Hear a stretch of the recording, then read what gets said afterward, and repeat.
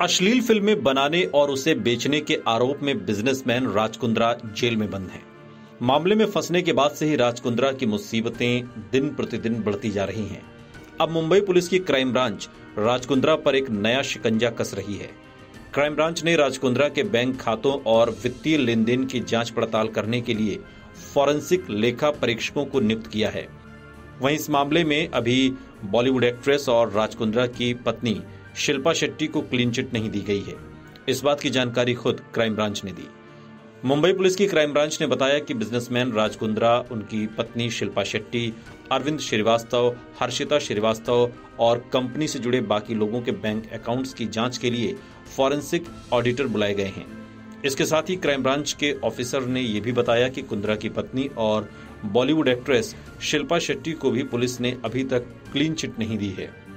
अधिकारी ने कहा कि कुंद्रा के बैंक खाते और उनकी उस व्यान इंडस्ट्रीज़ का ज्वाइंट खाता भी पड़ताल के दायरे में है, जिसमें शिल्पा शेट्टी डायरेक्टर थी, क्योंकि ये कंपनी अश्लील फ़िल्में बनाने के मामले के केंद्र में घिरी हुई है।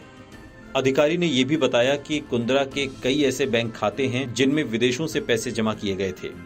वहीं शिल्पा शेट्टी को लेकर अधिकारी ने बताया कि शेट्टी के ज़रिए संचालित किसी भी बैंक खाते में लेन देन की जानकारी जांचकर्ताओं के सामने नहीं आई है।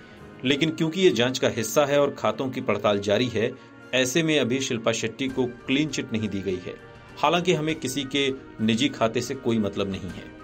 आपको बता दें कि शिल्पा शेट्टी और राजकुंद्रा का पीएनबी बैंक में मौजूद एक संयुक्त बैंक अकाउंट संदेह के घेरे में है।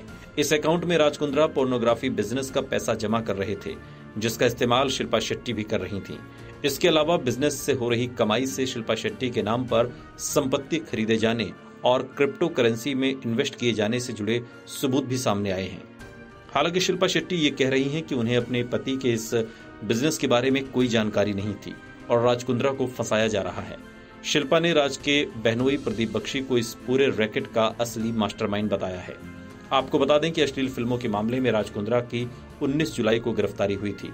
राजकुंद्रा फ़िलहाल बायखला जेल में बंद हैं और वहीं कुछ मीडिया रिपोर्ट्स का ये भी दावा है कि अश्लील फ़िल्में बनाने में फंसे राजकुंद्रा की दिक्कतें और बढ़ सकती हैं।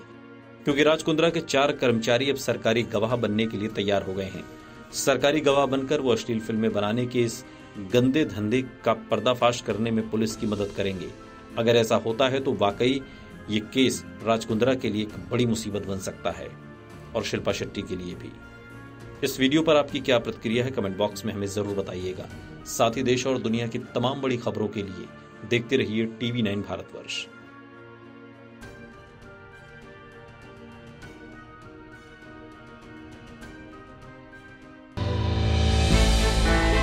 हमने की गलती फिर एक बार।